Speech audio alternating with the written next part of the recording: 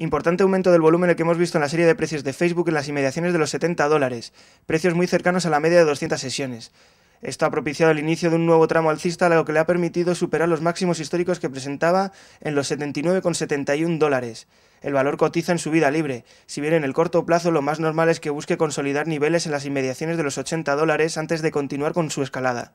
Para las próximas semanas es muy probable que el valor extienda las subidas hasta el nivel de los 90 dólares.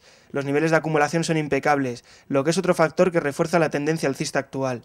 No apreciaremos ni la más mínima complicación técnica en su serie diaria de precios, mientras que la cotización de Facebook se mantenga cotizando por encima de los 70 dólares, mínimos de este mes de octubre.